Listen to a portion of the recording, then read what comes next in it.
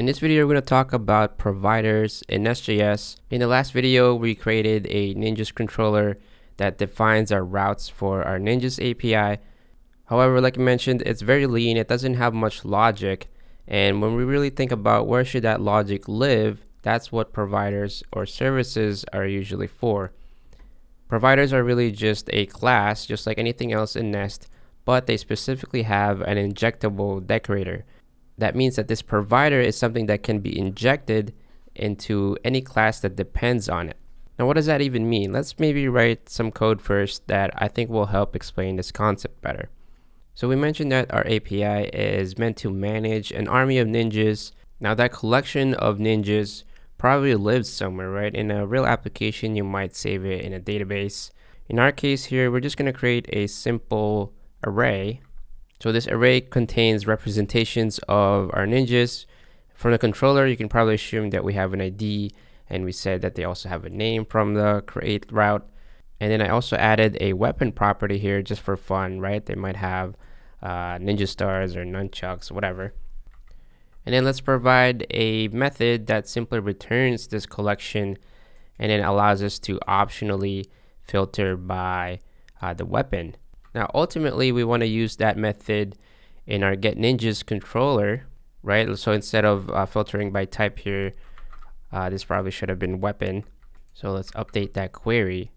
And then instead of uh, returning a mock array here, we'll return the actual collection of ninjas. But first, how do we get that collection or the service in general into this controller? So if you weren't already familiar with Nest.js, you might imagine that, oh, this is a class. That means that in order to get access to this method, I probably need to instantiate uh, an instance of this class. So let's try that. Let's do const service equals new ninjas service and then we'll return a service dot get ninjas pass in the optional weapon filter by the way notice that we have a type problem here because this is expecting a specific union of strings so let's update this to be stars and nunchucks and now it's good. So we should be able to go to our local host again and do request on get slash ninjas hit send there and we should get back our array of ninjas. And we can go ahead and test our filter actually let's do weapon equals stars. And that should limit it down to just the one ninja that has stars as the weapon now as you might imagine as we start moving you know the logic for the rest of these routes into our ninja service it might get kind of annoying to keep instantiating a new instance of the ninja service across all of our routes you know, it would be nice if that was just, you know, that instance was just created for us and injected into our Ninjas controller. And that is actually what uh, Nest.js can do for you. So what we're going to do in our Ninjas controller is we're going to add a new constructor here. And let's do private read only Ninjas service. We're going to provide this with the type of our service. Then we can actually comment this out and just replace this with this.ninjas service. And if you test that out, it should work the exact same way. So what's going on here? Basically what's happening is that because our service is a provider, right? It's an injectable. It's got this decorator up here.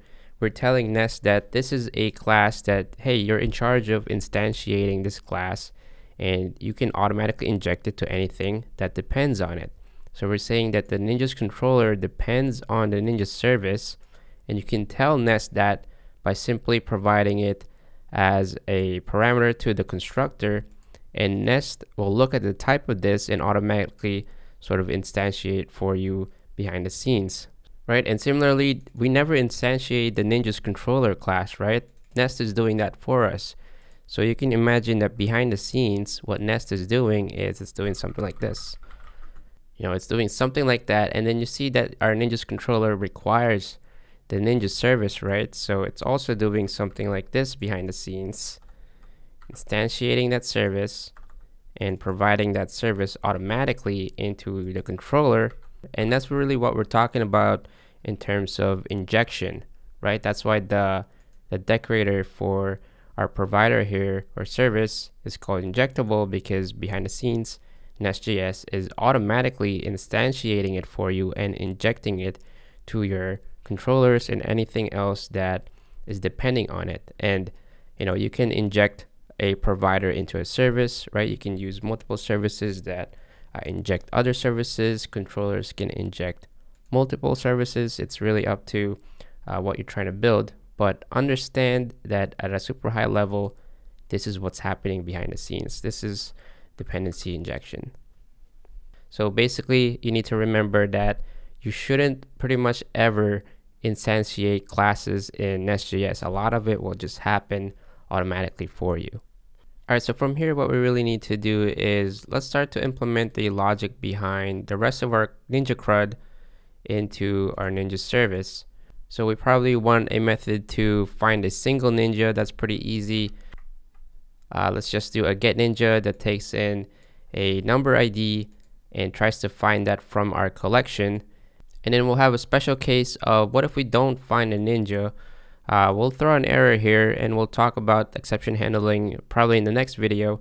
Uh, but for now, throw the error and then otherwise we'll just return the found ninja. Next, we probably want to be able to create ninjas.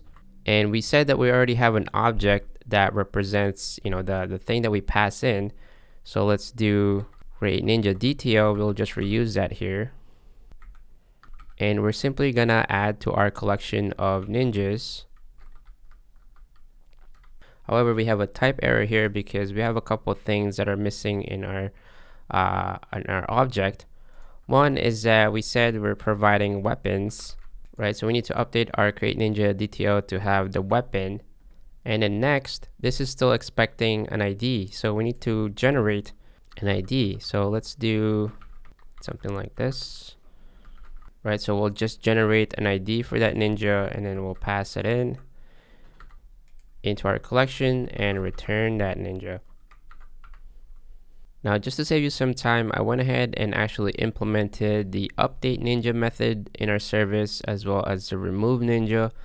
Uh, go ahead and pause the screen if you need to copy it, but basically we're doing this.ninjas and replacing it with you know a map of the original collection, simply overwriting uh, the ninja with the same ID as the thing that we passed in. And then remember, similarly as the create ninja DTO, we have the update ninja DTO.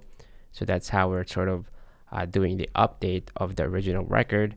And then we're simply returning, uh, we're using the get ninja ID here so that we get back that single uh, item in the collection. And then for remove ninja, uh, similarly, we query the, the ninja that we're looking for, and then we update our collection to basically filter it out, and then we return that ninja that we found, uh, you know, just prior to it being filtered out. Now we need to remember to go back to our controller and update uh, the rest of these. So for get one ninja, this should return this dot ninja service dot get ninja, passing the ID. Now notice that we have a type error here because it's expecting a number, not a string. And coming from the URL, it is a, a string technically. So we'll typecast this by adding the plus in front of it. And that basically turns it into a number. For create ninja, same thing. We do this dot ninja service dot create ninja, and then we just forward uh, the DTO. Again, same thing. Pass in the number ID and the update DTO. And for delete, let's wrap this up.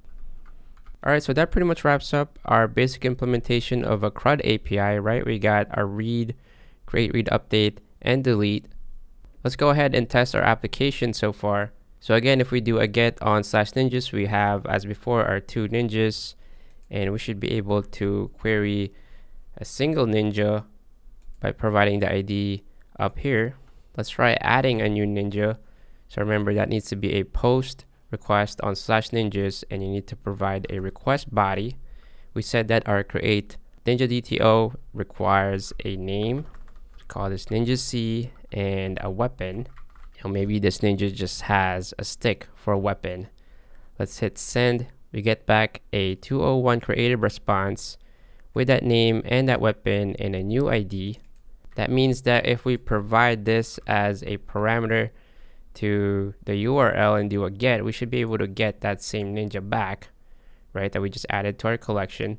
And similarly, we can go and update this ninja by changing their uh, weapon to stars. Let's hit send here. So put request on ninja slash ID and we get back uh, the updated record. So just to make sure we're doing this correctly, if we do a get on slash ninjas, we should have uh, the three ninjas and then the last one should have a weapon of stars because we just updated it.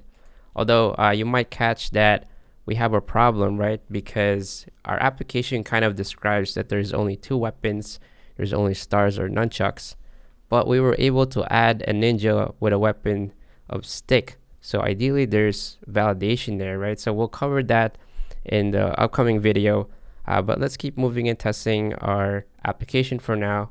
Let's go ahead and test deleting this ninja to make sure that our last route is working as expected. So we'll do a delete on ninjas slash ID.